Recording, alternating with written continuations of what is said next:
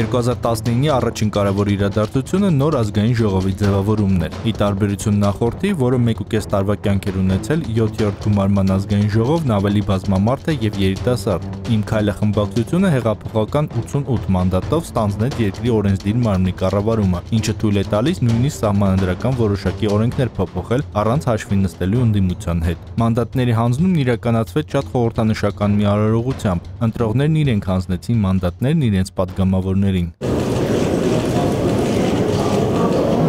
2019 թվականը առանձնացավ հնչեղ քրեական գործերով։ Թիվ 1 քրեական գործը Հայաստանի երկրորդ նախագահ Ռոբերտ Քոչարյանինն էր, որ ուղեկցվեց նրա կողմնակիցների եւ հակառակորդների ցույցերով ու ելույթներով։ Դատարանից դատարան տեղափոխվող այս գործը վերածվեց բացարկների մի անվերջանալի շղթայի, որում թվում էր, թե կորչում է մարտի 1-ի 10 սպանությունների բացահայտումը։ 2019-ին մեղադրանք առաջադրվեց նաեւ Հայաստանի երրորդ նախագահին Սերժ Սարգսյանին, սակայն բուն գործը դեռևս դատարան չհասավ։ Իրավապահ համակարգը ժամանակ առ ժամանակ հայտարարում էր նախկին իշխանությունների տարբեր ներկայացուցիչների, պաշտոնյաների, падգամավորների, հայտնի գործարարների եւ նրանց մերձավոր ազգականների ձերբակալությունների եւ կալանավորումների մասին։ Մի կողմից ըստ հնչող հայտարարությունների պետությանը հասցված վնասի մի զգալի մասը փոխհատուցվեց։ Մի մասի վերաբերյալ հույս արտնացավ, որ կպարզվի եղելությունը, բայց մյուս կողմից էլ անհայտ մնաց այն տրամաբանությունը, թե ինչու են հենց այս մարտիկ առաջին հերթին պատասխանատվության ենթարկվում, այլ ոչ թե ուրիշներ։ Արսակցիան որևէ նորություն չունեք ձեր եղբորից։ Չեք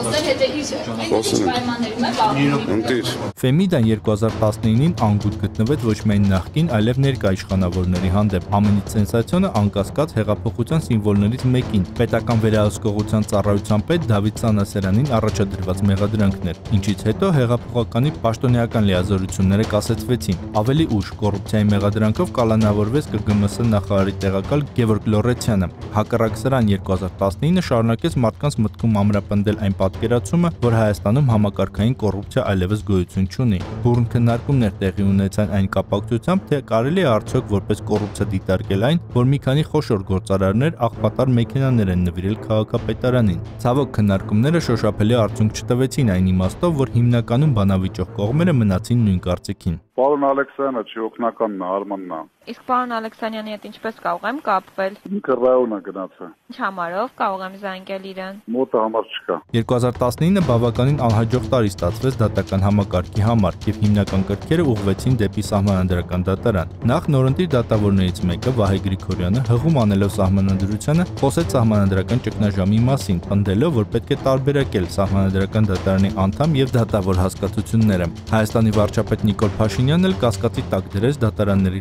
լեգիտիմությունը եւ կոչ արեց քաղաքացիներին շրջապատել բոլոր դատարանները։ Սրանից մի քանի օր անց բարձրագույն դատական խորհրդի նախագահ Գագիկ Հարությունյանը հրաժարական տվեց։ Փոխարենը շատ ավելի դիմացկուն գտնվեց Սահմանադրական դատարանի նախագահ Հրայր Թովմասյանը, որը հակառակ երևացող եւ աներևույթ ճնշումներին շարունակեց պաշտոնավարել, պնդելով, որ դա է պահանջում սահմանադրականությունը։ Դատական համակարգի շուրջ ծավալված կրքերը հույս են ներշնչում, որ մի կողմից վերջապես Հայաստանի դատական տարբերատյաններ կկարողանան վայելել հասարակության վստահությունը, մյուս կողմից էլ գործադիր ու օրենսդիր եւ դատական իշխանությունների միջև եղած հակասությունների արդյունքում Հայաստանում կտարանջատվեն իշխանության տարբեր թևերը։ Աշխարհակ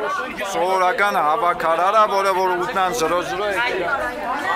Հիմա ուզում է դուրս գա մնաց վրա գար։ Տարին ցնցումներով լի էր նաև օրինականությունը վերահսկող մյուս գերատեսչությունների ոստիկանության եւ ազգային անվտանգության ծառայության համար։ Հանրության համար անակնկալ կերպով երկու գերատեսչությունների ղեկավարներն էլ Արթուր Վանեցյանը եւ Վալերի Օսիպյանը հրաժարական տվեցին։ Ընդ որում Հայաստանի պատմության մեջ առաջին անգամ անվտանգության ծառայության ղեկավարը հայտարարեց կուսակցություն հիմնելու վերաբերյալ, իսկ ոստիկանության նախկին պետը դարձավ այլ պետությունում բնակվող մի քաղաքացու մասնավոր անվտանգության ղեկավարը։ Եթե ազդեցություն ունենա, ի սկզբանե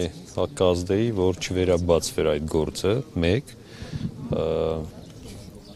երկրորդն էլ կասեմ հոասելով չի, գողն է գորում բռնի գողին։ Ես վստահ եմ, որ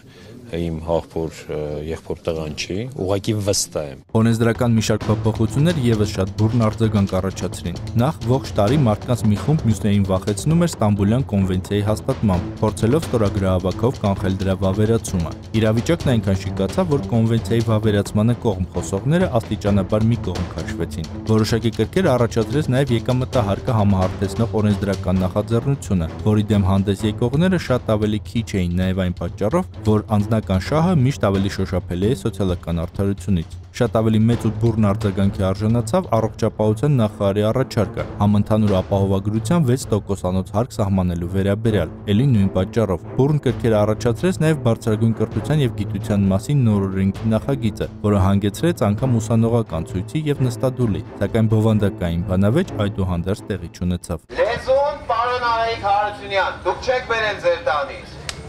Մշակույթը չեք բերել ձեր տանից։ Եվ այն մարդը, ով կփորձի պայքար մղել մեր լեզվի, մեր մշակույթի դեմ, կարժանանա անփառունակ վախճանի։ Անցնող տարում շարունակեց թեժ մնալ ամուլսարի հանքի խնդիրը։ Ողջ երկիրը շունչը պահած հետևում էր տարբեր կողմերի փաստարկներին։ Ոսկու հանքի շահագործման կողմնակիցները խոստանում էին ոսկե սարեր, կոնկրետ մի սարի դիմաց, իսկ հակառակ պարագայում միջազգային մեկուսացում եւ աստղաբաշխական տուգանքներ։ Իսկ մյուս կողմը կանխատեսում էր համազգային աղետ, իսկ չշահագործման դեպքում շահագործողների ֆիասկո միջազգային դատարանում։ Ամեն դեպքում միայն մի խումբ երիտասարդներ ողջ տարին շարունակեցին հերթապայել ամուլսարի խրամատներում, համարելով, որ դա է միակ ճիշտ ճանապարհը։ Ամուլսարը չի պատկանե Ջերմուգի ժողովրդին։ Ամուլսարը պատկանե գը ցանկացած հայի, ով որ կհամարե, որ Ամուլսարը Իրանն է եւ Հայաստանի բնությունն ու լեռնաշխարհն Իրանն է։ Ինչպես եւ նախորդ տարի 2019-ը եւս աչքի ընկավ վարչապետ Նիկոլ Փաշինյանի ելույթներով ու ուղիղ եթերներով, ընդ որում սուր ելույթներ եղան նաեւ Հայաստանի սահմաններից դուրս։ Վարչապետը խստորեն հակադարձեց օրինակ Գարեգին Նժդեհին մարդկության դեմ հանցագործ ներկայացնելու փորձին, իսկ ներհայաստանյան իրականության մեջ դժգոհեց պետական ողջ համակարգից, որ ընդդիմանում է հեղափոխությանը։ Եվ ի վերջո եղան նաեւ շատ գործնական խորհուրդներ, որ ավելի լավ է ամանորը նշել հրաապարակում, քան ընդունել հյուրեր եւ նրանց հյուրասիրել հնացած սնունդով։ Ամեն դեպքում ակնհայտ Ակնհայտ է, որ 2019-ը շարունակեց հեղափոխական շունչը եւ աչքի ընկավ անակնկալներով ու անկանխատեսելիությամբ։ Գևորգ Կեմինտերյան, Սուրանկյուն